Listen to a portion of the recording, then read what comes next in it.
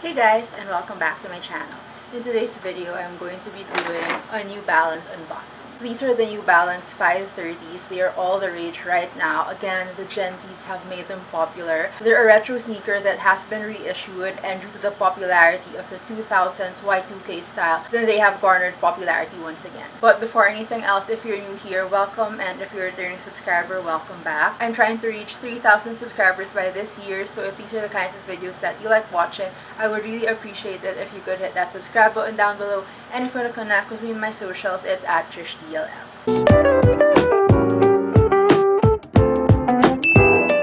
So I'm going to be unboxing the New Balance 530s with you guys. I got them straight from the New Balance store. The store just had a restock and because I didn't want to buy from a reseller, I went to the store right away to check for my size and thankfully they had my size. So this is the box that it came in. It just has the New Balance logo. So the style code is just MR530RS and I got it in the men's 6.5. That's a Euro 39.5 which translates to an 8 women's. Before I open the box to show you guys the colorway that I got, I would first like to say that this purchase has been heavily influenced by my friend Zach. So Zach, if you're watching, this all your fault. My friend Zach, who's not even an influencer, kept on sharing New Balance sneakers on his IG story. Like he would just just share aesthetic posts of like New Balance sneakers, not necessarily the 530s, but like generally the popular New Balance sneakers, I guess. I don't really know their models. But he would just share, like, they're not even his photos, they're like the posts of like other Instagram influencers, and he would just share them on his stories.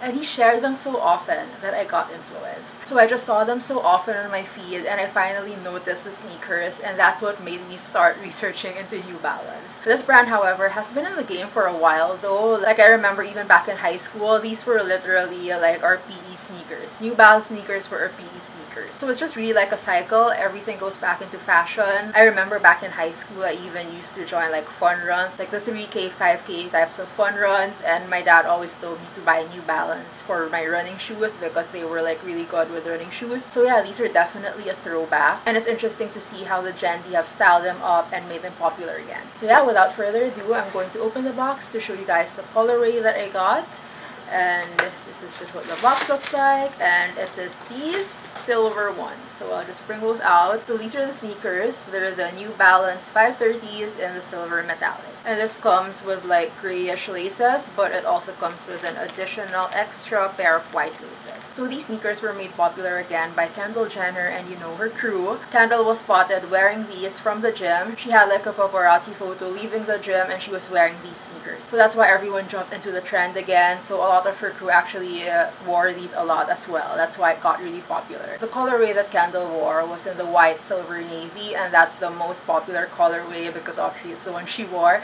So a lot of the influencers actually have that colorway, and it's the one that's kind of selling for premium. Actually, a lot of the 530s right now, resellers are still marking it up. They're like basically finishing all the stocks from the stores and putting a markup on it just because of the hype and the popularity. But yeah, since I was able to chance up on a restock before the other resellers could get to them, I was able to get mine at SRP. So at SRP, this was at 6,000 pesos from the store and the resellers are selling them for I think like 8.5 so I had the option to get like the white silver navy one which is the popular color I had the option to get that from resellers but when I went to the store I could get this colorway at SRP and we love ourselves a good SRP shoe so that's why I got this. I honestly really love the white silver navy version. I think it's like the OG 530s. However, if you're given the chance to get an SRP shoe, then you just bite the bullet and get it. And I think this colorway is great as well. So at the store, because they just did a restock, I think there were like three colorways available. There was the white Munsell, there was this which is the silver metallic, and then there was another one which is like more of like an all leather version and it was kind of like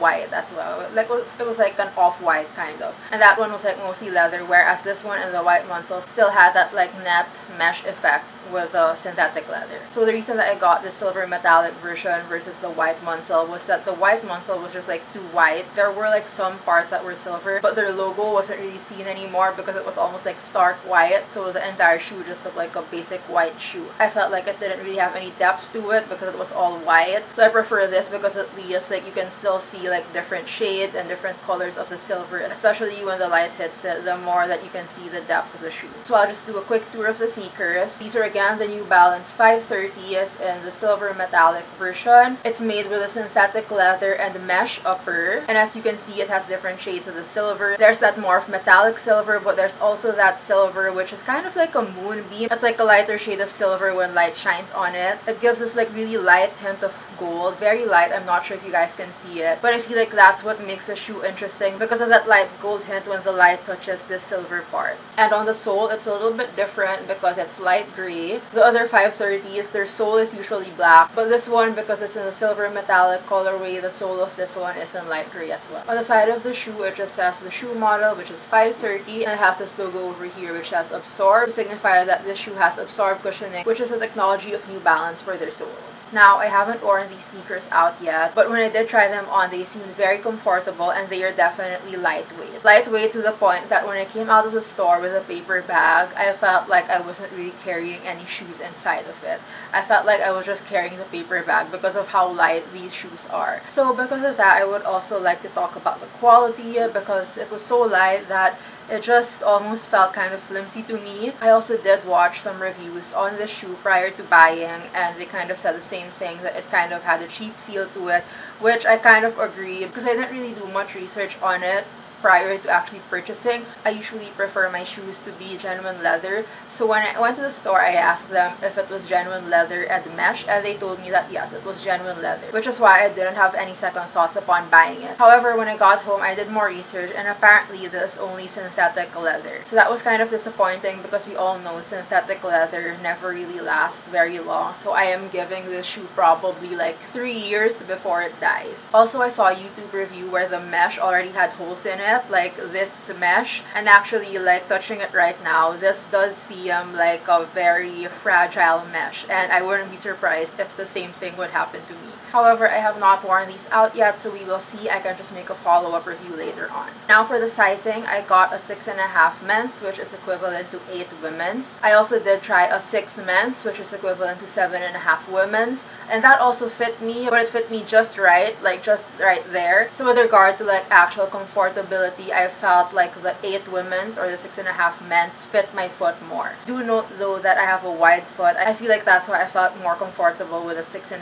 However, if you do have a narrow foot, I feel like you do just fine with a 6 men's. And for reference, my shoe sizing is usually a 7Y in like Nike and Adidas, which is basically like the youth size. In Zara shoes, I'm a Euro 39, especially with like the flats. However, in heels and in designer heels, I am usually a 38. But yeah, most sneakers and also the Veja sneakers, I am a Euro 38 in those as well. So yeah, because it is kind of a unisex shoe, uh, the sizing might be a little different because on the tags it says that this is a Euro 39 and a half, but that's because it's unisex. So yeah, just some points to think about. But generally, really, I am an 8 women's and a 7 youth and like the Nike and Adidas sneakers. So yeah, that was my review of the New Balance 530s in the silver metallic. I'm so excited to be wearing these retro sneakers out because they're such a nostalgic throwback to the 2000s. I definitely think that the Gen Zs have styled them really well and these sneakers look very fashionable and very in trend when styled. And even if I don't wear them out with like stylish fits, with like those trendy Gen Z outfits, I feel like these would even look great even just at the gym. So it says the running shoes, so I feel like this would also be an appropriate footwear for the gym. Though I don't think I'll use it for running because I have actual running shoes, but I feel like for other gym workouts, these would be such a great shoe for that. But casually, I think these would go with a lot of outfits as well. I have a lot of basic clothes in my wardrobe and I feel like this would match my wardrobe really well. Like these are the perfect shoes for just like a basic white shirt, jeans, and like a big hobo bag, or like anything black and white, a huge blazer, a crop top inside, and then like leggings that would look really good with these as well. So yeah, I feel like these have a lot of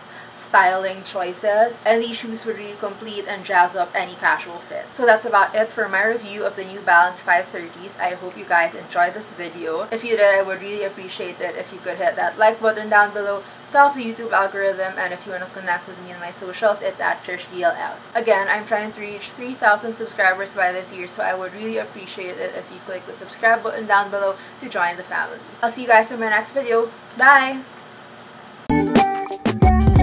Thank you.